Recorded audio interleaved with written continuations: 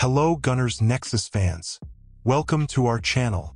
Before we start, I ask you to subscribe and turn on notifications so you don't miss any explosive news from Arsenal. And share this video with your friends. Because today we're going to reveal bombshell news that could change everything. Are you ready for a secret that will shake the world of football? Stay tuned until the end, because what we're about to reveal could completely transform the scenario for upcoming transfers. Behind the scenes of football, something is happening that no one expected.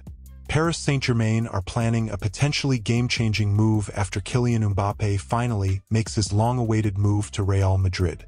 They have their eye on a name that could shake up the structures of European football.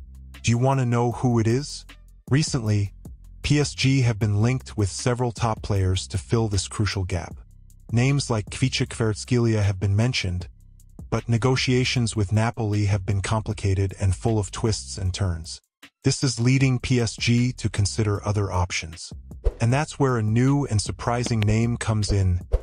Nico Williams, from Athletic Club, a 21-year-old Spanish talent who is attracting the attention of football giants such as Chelsea, Liverpool, Manchester City, Manchester United, Tottenham, Barcelona, and, of course, our Paris Saint-Germain.